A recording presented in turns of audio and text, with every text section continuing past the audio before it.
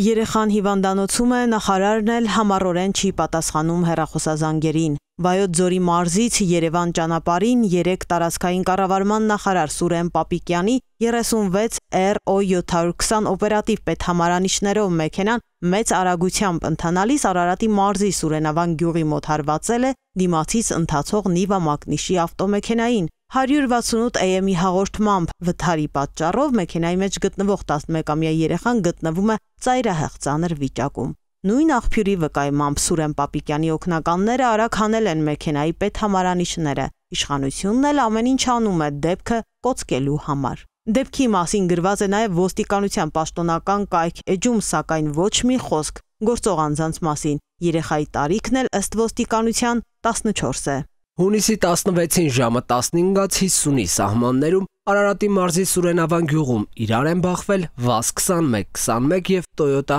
Land Cruiser մակնիշի ավտոմեքենաներ, ինչի հետևանքով VAZ 2121 մակնիշի ավտոմեքենայում գտնված 14-ամյա պատանին, ինչպես նաև Toyota Land Cruiser մակնիշի ավտոմեքենայում գտնված 23 եւ 24-ամյա անձինք տեղափոխվել են տարբեր բժշկական կենտրոններ, կատարվում է քննություն։